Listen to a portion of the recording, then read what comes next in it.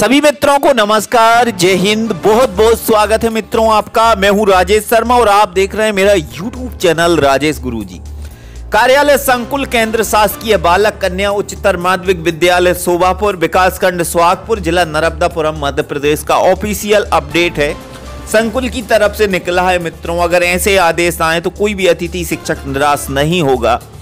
मैं आपको बताना चाहता हूँ, कई जिला शिक्षा अधिकारी अतिथि शिक्षकों को हटा रहे हैं। कई संकुल प्राचार्य बहुत ही ईमानदारी से अपना काम कर रहे हैं और इस सत्र अतिथि शिक्षकों के लिए मौका दे रहे हैं। अगर कोई संकुल में अतिथि शिक्षक प्रमोशन के कारण हटता है तो उन अतिथि शिक्षकों की व्यवस्था दूसरे स्कूल में की जा रही है।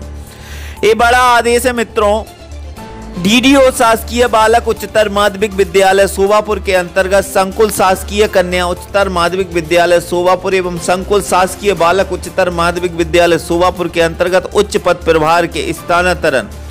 कर्मचारियों की नवीन संस्था में पद स्थापना उपरांत अतिथि शिक्षकों की शैक्षणिक कार्य व्यवस्था के अंतर्गत आगामी आदेश तक कालम पाँच में दर्शाई गई संस्था में तत्काल प्रभाव से शैक्षणिक कार्य हेतु पदस्थ किया जाता है।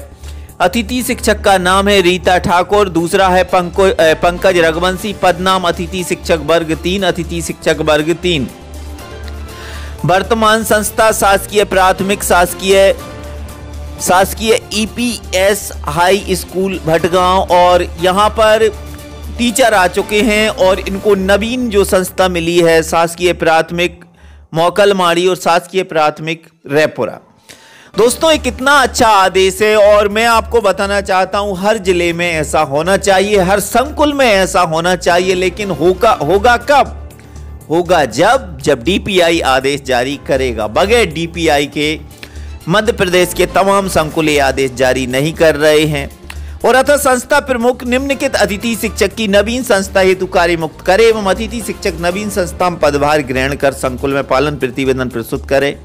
अतिथि शिक्षक कार्य व्यवस्था 2024 सोवापुर जिला शिक्षा अधिकारी जिला नर्मदापुरम की ओर से सादर सूचना। विकासखंड शिक्षा अधिकारी सुहागपुर की ओर से सादर सूचना। विकासखंड स्रोत समन्वय सुहागपुर की ओर से सादर सूचना। एवं संबंधित संस्था प्रमुख एवं अतिथि शिक्षक की ओर से सूचना। Government boys higher secondary school Suhagpur. मित्रों, मैं आपको बताना चाहता हूँ ड्रीम कंडीशन क्या है, क्योंकि ये अतिथि शिक्षक एक ही संकुल के हैं तो पोर्टल पर नाम तो इनका चढ़ा है, लेकिन इनको, इनका मानदेय जनरेट कर दिया जाएगा, दूसरी साला में इनको भेजा गया है, और ए हो सकता है, हंड्रेड परसेंट ए हो सकता है, अगर संकुल प्राचार्य चाहें तो। चाहे तो कुछ भी हो सकता है मित्रों, कोई, हर अतिथि शिक्षक का नियमितीकरण भी हो सकता है। लेकिन अतिथि शिक्षक का हित नहीं चाह रहे हैं भाइयों। लगातार उनको हटाया जा रहा है, उनको परेशान किया जा रहा है, उनको वेतन रोक के रखा है, उनका नाम पोर्टल पर नहीं चढ़ाया जा रहा है। ये तमाम दिक्कतें, परेशानियाँ बनी हुई है मित्रों। इनका निराकरण नहीं हो रहा है। नोडल अधिकारी नियुक्त किए गए, लेकिन फिर भी कुछ नहीं हुआ। बाकी आपके लिए एक और वीडियो आ रही है, फिर मिल रहा हूँ एक और वीडियो में, तब तक लिए जय हिंद, जय बंदे मात